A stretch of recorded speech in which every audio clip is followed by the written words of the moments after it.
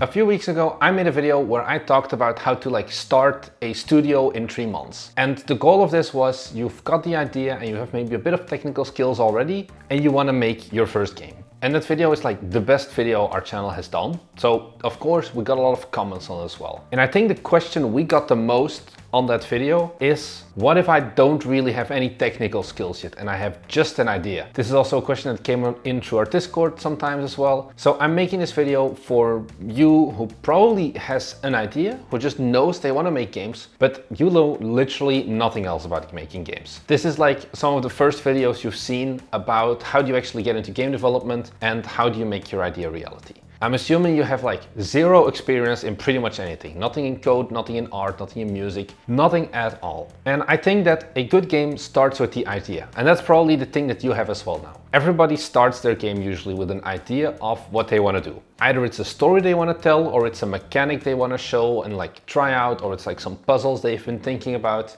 Usually the idea is the first thing that comes up. It's like, oh, let's take this game and this game and mash them together to get like this beautiful monstrosity, which is your game. Or at least what you hope your game will be. And I can't stress enough, make sure your idea is solid. We've made some videos before about game design documents and I think that especially if you go into this for the first time, your game idea needs to be solid because you will be very confused when you're like developing your game later on. So you want to have something that you can always look back to. So you know what exactly is it gonna be that I'm going to be making. Generally, on top of that idea, I want to talk very quickly about genre as well. For the most part, I think any genre can work. I would just stay away of RPGs ideally, as well as anything that's multiplayer because these things greatly complicate like how technical you need to be to make your game and once again I'm assuming you don't really have any technical skills. Any idea is almost good but make it a single player game and make it not too like crazy. That's what I really want you to do and spend like a week just thinking about the idea and making sure you have it all written down somewhere.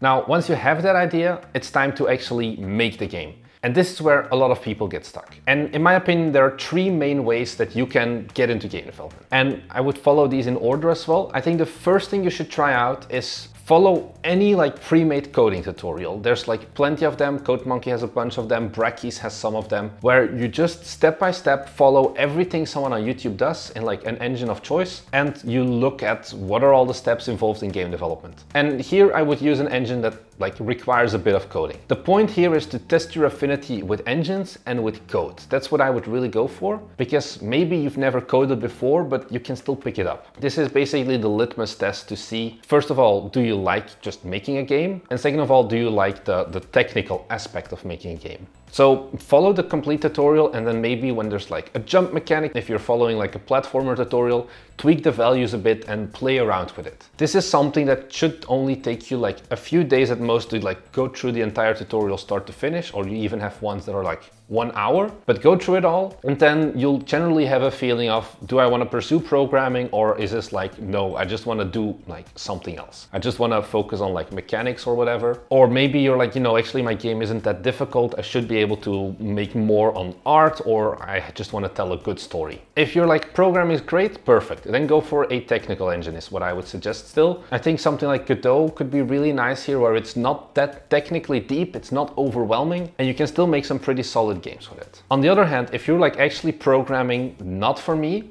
no problem, then I would suggest you look into low code or no code game engines. Some great examples of this are Game Maker Studio. I know sometimes it gets a bad rep, but some really good games have been made in it, as well as something like Construct, or if you just want to tell a story basically and you want to go more for a visual novel, get something like a Ren'Py. These are engines where your coding is very, very limited. And if there is coding, you can usually do like a visual drag and drop, like block-based system. And it's really easy then to make games where the focus isn't really on the mechanics, but it's more on the gameplay itself or like the art style. And you can make some really great games with that as well. Now, I want to give a third option as well if you feel like you have a good idea, but you don't have the technical skills whatsoever. So maybe you're just an artist and even something like Game Maker Studio is a bit hard for you. You can always try and look for someone to team up with. This is a bit more difficult, of course, and not everyone will be able to do it. But if you can find someone, maybe a friend or even someone online who is also interested in game development and who can also complement the gaps you have. So for example,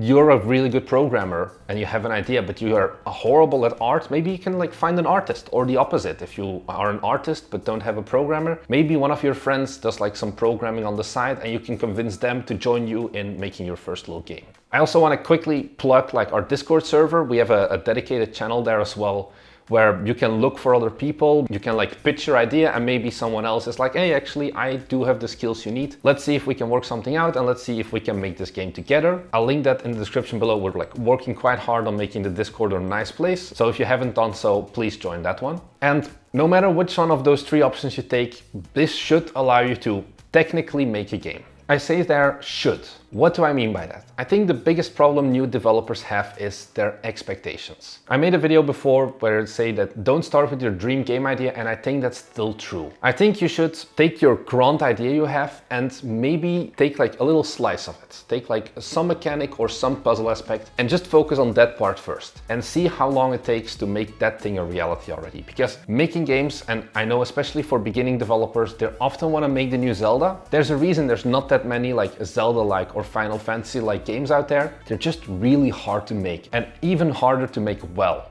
So keep your scope down. I think something like Game Maker Studio, if you go that route, it's really easy. And because there are some limitations of the engine, your scope will automatically get limited as well. Whereas if you go for a like fully coded approach, you may lose like a month on developing some mechanic that because you don't really know yet like how to program and such. And only then really realize that, well, I'm wasting too much time on this and it's not worth it.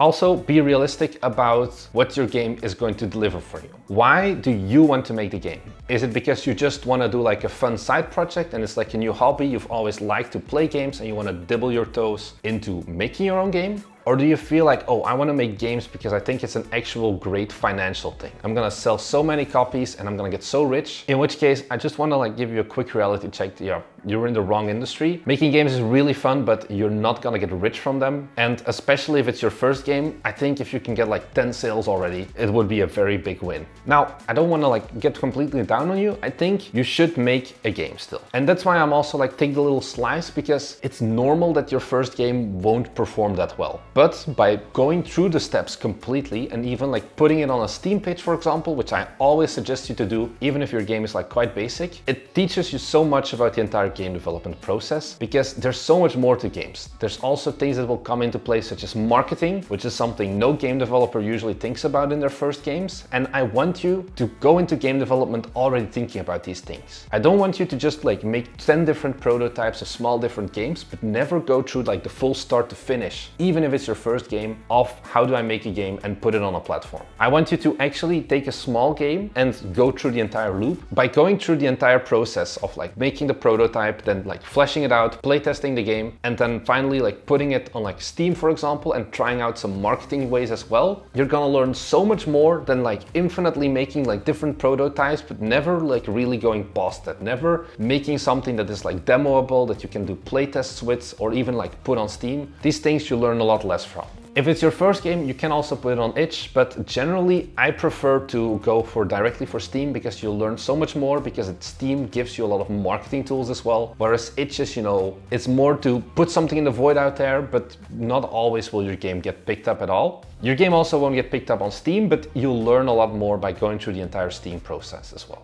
I hope this like helps you a little bit in getting completely started. I think once you've made your first game, take a look at the other video we made where it's the, the three months thing. This is truly if you're brand brand new for game dev and in which case I'd say welcome. It can be very daunting to make a game, but I think it's really fun and you'll learn a lot in the meantime as well. Anyway, that's all I really had to say. If you're new here, we're game developers, we've made our own game, and I like to talk about the process of making games, some things that we learned whilst we were making our games, and also just show you a bit more about what is life like when you're a small studio like us and you're trying to like keep everything afloat. If that's something that interests you, be sure to head down below and maybe subscribe as you get these videos twice a week. Also, if you're a new game developer, you're gonna wanna hop into our Discord where we can help you out a lot as well, give you some advice, you can interact with other developers, and like I said before, maybe even meet someone that you can like partner up with. That's all I really had to say. Thanks for watching and I'll see you guys in the next one. Bye!